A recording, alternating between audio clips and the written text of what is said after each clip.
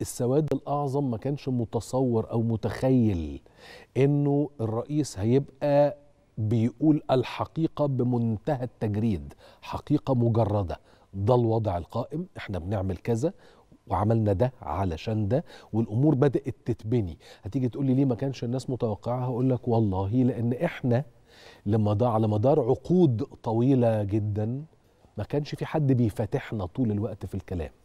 يعني يبقى منفتح علينا بهذا الشكل وبهذه الدرجة. صحيح إحنا اعتدنا من الرئيس انه دائما يبقى واضح جدا في كلامه يبقى مباشر جدا في كلامه.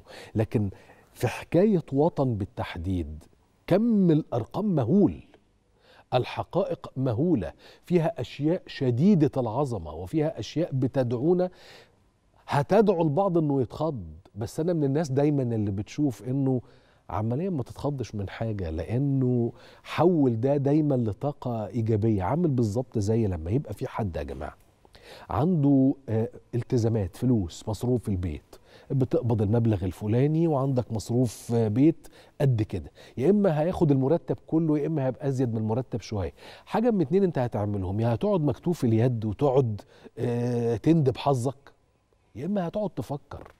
وتفكر عشان تشتغل عشان تعرف تدبر الفلوس اللي لازمة البيت ده. وأنا أظن إنه ده الهدف من حكاية وطن إن إحنا نبقى شايفين إحنا عملنا إيه ونبقى شايفين إحنا قدامنا مسار شكله عامل إزاي. هنقف وهنكمل ولا هنقعد مكتوفي اليد نندب في الحظ؟ أنا بعتقد إنه طبيعة الشعب المصري هنقف وهنكمل وكل حاجة هتبقى زي الفل. أنا مش عايز أطول عليك بس أنا عايزك بعد إذنك تسمع وتشوف معايا الرئيس قال إيه في المقطع القادم؟ وهو في حتة كده الرئيس شدد فيها في مداخلته النهارده خلال مؤتمر حكاية وطن على إنه الدولة بتقوم بعمل وبتضحية مش بكلام. عايز تعرف الرئيس قال إيه؟ اعدها لك تاني واسمع دلوقتي.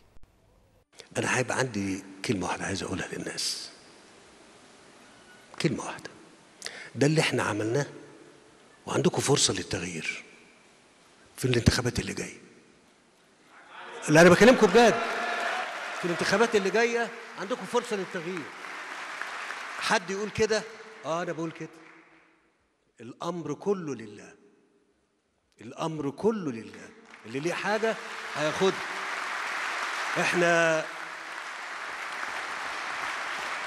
اللي قاله الدكتور مصطفى في كل فقرة من فقراته نقدر نخش على كل موضوع نتكلم ساعات ساعات.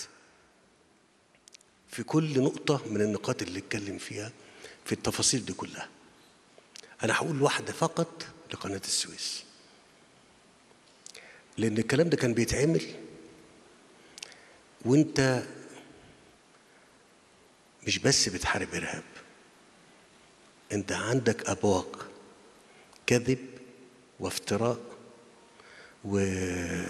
وشائعات شغالة تقدح في كل إجراء ومسار تعمله. أنت كمان مش محل تقدير من ناسك اللي, اللي أنت بتعمل لأجل خاطرهم أو لأجل خاطر ربنا وخاطرهم. لا ده كمان وأنت بتعمل كده بيتم الإساءة لك وللإساءة المسؤوليك مش ليهم هم بس. هم وأسرهم. وأكن يعني ولكن لا بأس لأن مفيش حاجة بتروح عند ربنا. كل كلمة كذب لها أجر. كل إساءة لها أجر. المسؤول اللي اللي أسيء ليه أو تم عمل بهتان عليه ده مش هيمشي كده.